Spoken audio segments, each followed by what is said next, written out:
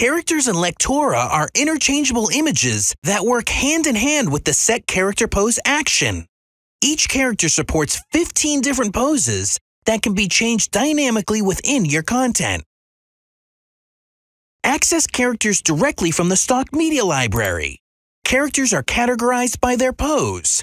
When you find the character you want, simply drag and drop it onto your page. Now that you have a character on your page, you can use the Set Character Pose action to interact with it.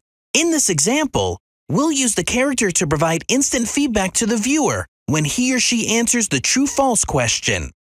To do this, we'll need to edit the feedback option for the question. Within the question creator, on the Feedback tab, we'll provide immediate feedback using the character. If the question is answered correctly, we'll use the Set Character Pose action to modify the pose of the character in a way that lets the viewer know he or she has answered correctly. In this case, we've selected the thumbs up pose. If the question is answered incorrectly, we'll modify the pose to thumbs down. To see how the character and actions work together, place your title in run or preview mode. Wasn't that easy? Now you can use characters in your title and add that little bit of personality to your content.